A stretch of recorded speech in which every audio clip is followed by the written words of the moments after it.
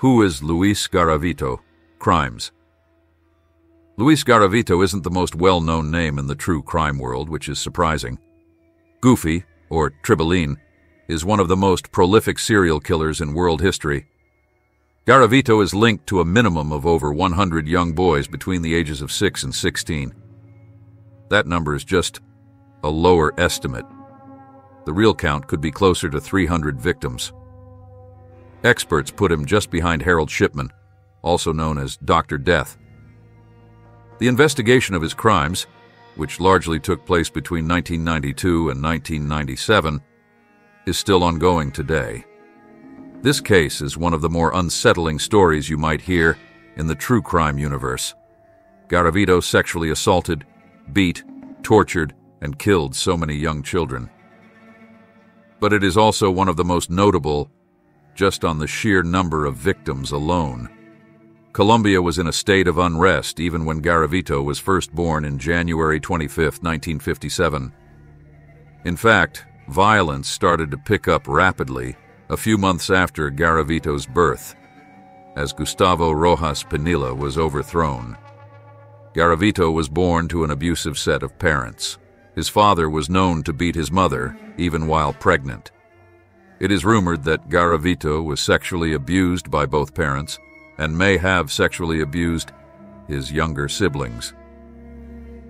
Garavito may have also been beaten by teachers at school, as this was a legal practice at the time. He dropped out at the age of 11.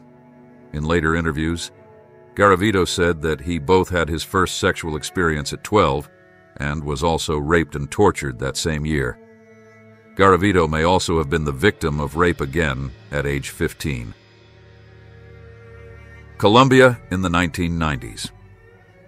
It's hard to imagine that 300 child murders go unnoticed for so long.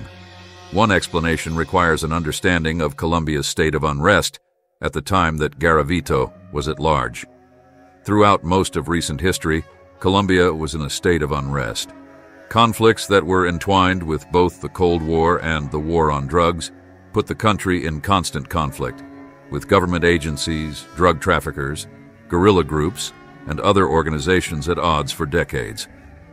In the height of Garavito's murder spree, Medellin, Colombia was named the murder capital of the world. It had the highest murder rate per capita out of anywhere in the world. Pablo Escobar was one of the most notable murder victims during this time. Nowadays, Medellin is considered more of a hipster spot for digital nomads and tourists. How Luis Garavito's crimes mimic those in the 1990s. At the time, most of these murders were linked to the drug trade. This even explained the high murder rates of children. Throughout the city, Children were used to transport drugs and often got caught in the crossfire of many murders. But murders, disappearances, and displacements were also linked to state and military violence. Hundreds of thousands of people, mostly civilians, went unaccounted for throughout the 50s through the 90s. On top of that, cults and other violence groups were responsible for many murders throughout the country. In some of his murders, Garavito would inflict similar torture as to make his victims look like they were victims of gang and cult violence. This torture included cutting off fingers and toes. In losing hundreds of thousands to various forms of violence throughout a country, it's not as hard to imagine the loss of 300 children slipping through law enforcement's hands.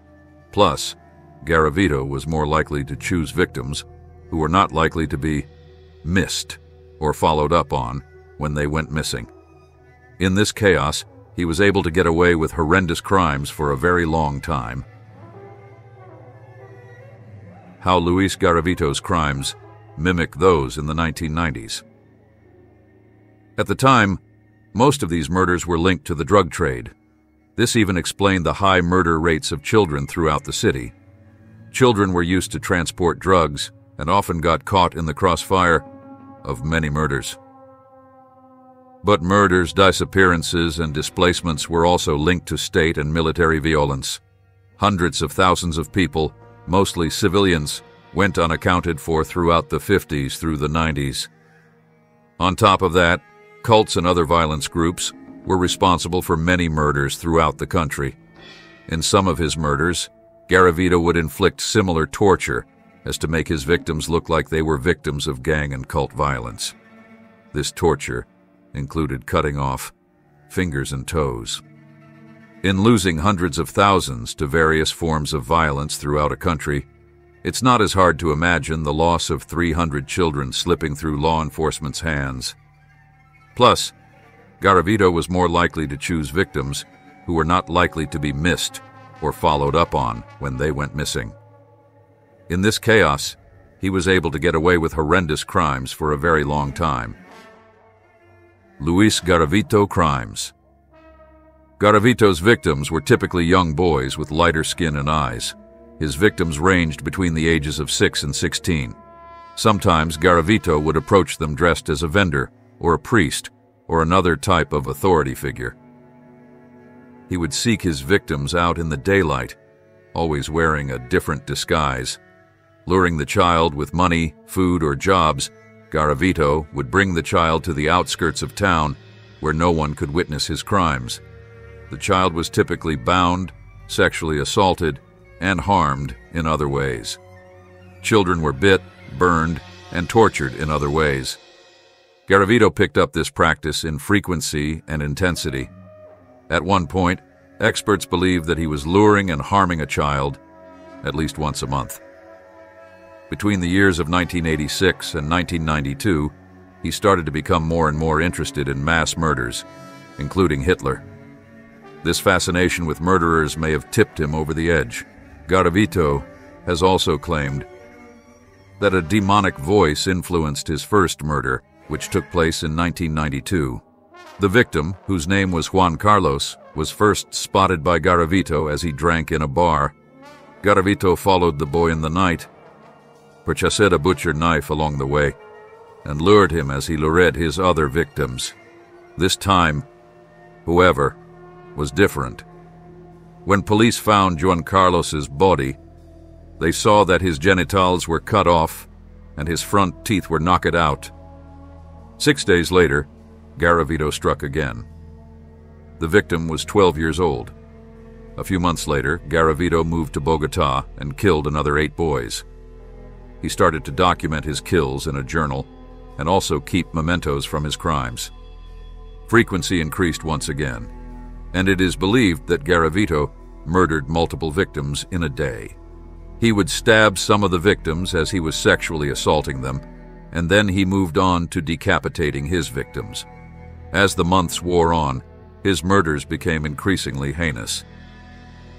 It is around this time that Garavito developed the nickname Tribilin, or Goofy. He moved to his own place in Bogota although he continued to commit murders throughout Colombia and possibly northern Ecuador. All of the murders were committed on the outskirts of towns. There were periods of time when Garavito would stop murdering boys. Sometimes, this was after a victim fought back or after Garavito sustained an injury. But from 1992 to 1997, he always went back to this murderous habit. He would travel throughout Colombia committing these crimes filling up a bag of trophies that he would eventually drop off at a relative or girlfriend's house when the bag got too full. Garavito had multiple run-ins with the police. He would be brought in for questioning in relation to the disappearance of a young boy. In some cases, he was able to say that he simply left the boy alone, or he accused the police of profiling him because he had a limp. He would be let go, and hours later, the police would find the mutilated or decapitated body of the boy who disappeared.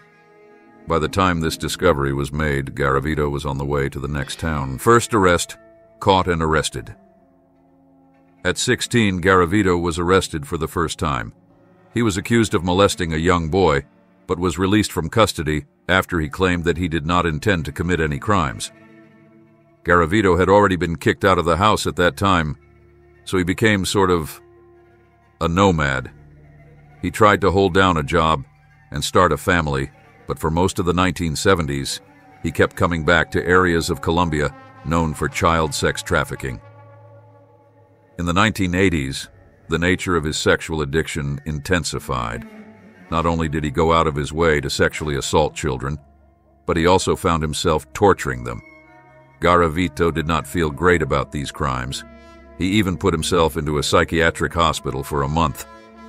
Although he neglected to admit to any of his crimes, he did seek help for depression. He was prescribed medication for depression and psychosis over multiple hospital stays. Obviously, none of these visits prevented him from committing more heinous crimes.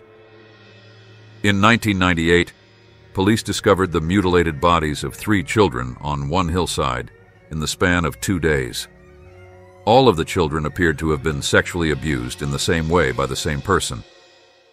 Upon further investigation, the police discovered a note at the crime scene that brought them to the house of Garavito's girlfriend.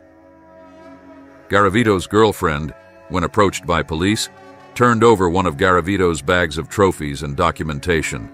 The police waited for Garavito to show up at his Bogota residence, but they didn't need to wait long. Shortly after pinning Garavito to this massive list of murders, Garavito was arrested for an attempted sexual assault. The assault had not gone as planned by Garavito, and an eyewitness connected Garavito to the incident. He was taken into custody on April 20, 1999. While he was in custody, police used various methods to link him to dozens of children who were found dead and mutilated throughout the country. They referenced his journals and trophies. They matched his DNA to empty liquor bottles and other forms of evidence found at various crime scenes. Garavito had a specific eye condition that required a certain type of glasses, and after a prison-wide eye examination, they linked glasses found at specific crime sites to him. There was nowhere for Garavito to run. He confessed to killing 140 children. Investigators continue to look for evidence that might pin him to an additional 32 or more victims. Sentencing.